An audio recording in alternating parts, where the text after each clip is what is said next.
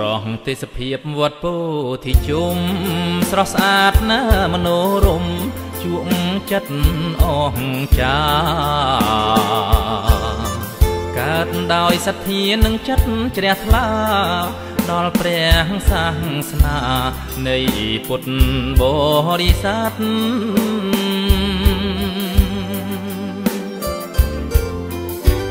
នោះជើងវត្ត300គ្រួសារសង្វាតណាឧស្សាហ៍ការប្រត់ទេបាត់ ឲ្យសមនឹងឈ្មោះជាពុទ្ធបរិស័ទអ្នកប្រឹងដងខាត់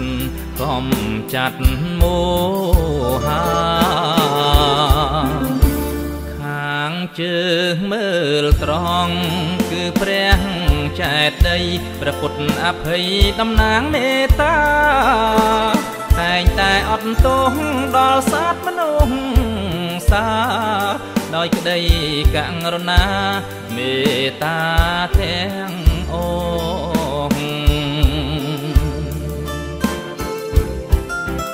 ព្រះធម៌ចែកដីតម្លៃជាងពេជ្រព្រោះបានរំលេចយ៉ាងពេជ្ររបស់ព្រះពុទ្ធជាម្ចាស់គ្រប់អង្គទាំងអង្គ ដោយក្តីអាងលោកគ្រួងសត្វក្នុងលោកា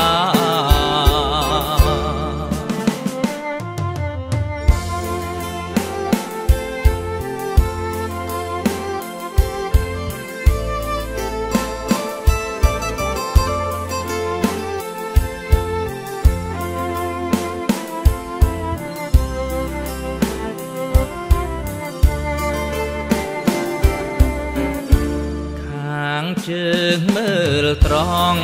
គឺព្រះចែកដីព្រះពុទ្ធអភ័យតំណាងមេត្តា តែងតែអត់ទោសដល់សត្វមនុស្សសាដោយក្តីករុណា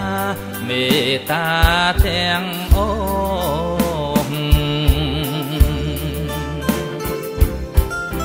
ព្រះធម៌ចែកដីតម្លៃជាងពេជ្រ ព្រោះបានអើយរំលេចពីងពេជ្ររបស់ព្រះពុទ្ធជាម្ចាស់គ្រប់អង្គទាំងអង្គដោយក្តីអាងនុគ្រោះសត្វក្នុងលោកា